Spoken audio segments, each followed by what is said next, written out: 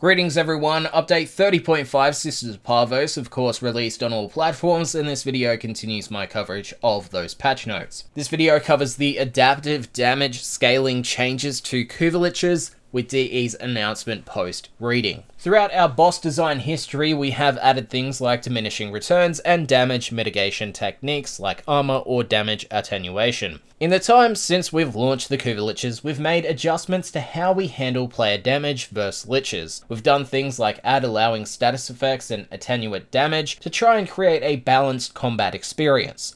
Like many bosses in Warframe, liches have some damage modifiers applied to them. We found a bug in the damage attenuation code and have fixed it and polished the attenuation for Kuva Liches. The system generally targets the scenario of very high damage things like the Void Rig's Arquebex versus a Kuva Lich, a scenario that is now possible due to the final showdown being based in Railjack. When we were testing this Void Rig versus Lich out, our liches barely lasted a second, and we realized the damage attenuation code could use some review. We found bugs to fix and things to tweak to account for these new scenarios. Our only intention is to give you a fight that lasts more than mere seconds. Happy hunting and may your teamwork and gear lead you to victory. We will be closely reviewing this to ensure we strike the right balance of a fight that requires teamwork and consistent offensive gameplay to beat, but also doesn't feel impossible. Feedback is welcome.